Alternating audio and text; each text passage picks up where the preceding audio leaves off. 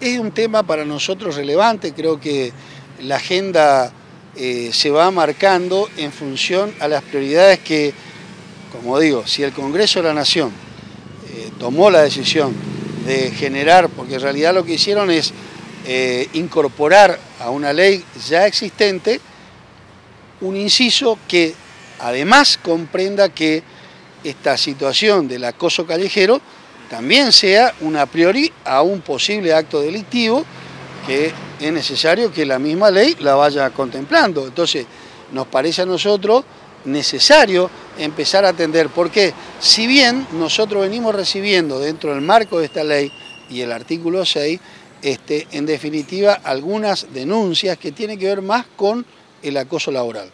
Esto sí lo tenemos y eso sí es colectivo.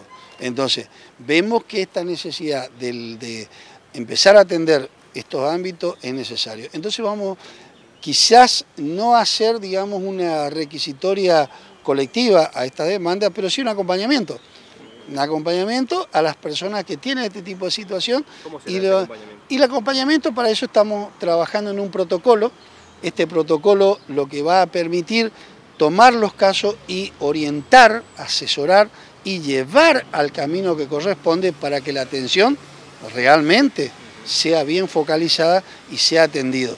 Y que no sea de alguna manera obviado, porque es lo que siempre pasa, porque son situaciones complejas.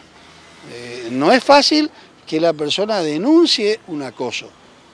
No es fácil para la mujer y encima si no le orientamos como responde, probablemente esa sea la única vez que se tenga la posibilidad de que esta persona se acerque y haga disparar el mecanismo. Entonces nosotros esa reserva la tenemos, para eso se está trabajando en el protocolo, que prácticamente lo tenemos porque ya no es el primer caso que, que hemos tenido, ya hemos tenido varios, y vuelvo a insistir, hoy está circunscrito fuertemente al ámbito del acoso laboral. Entonces es un tema que no lo podemos mirar de costado.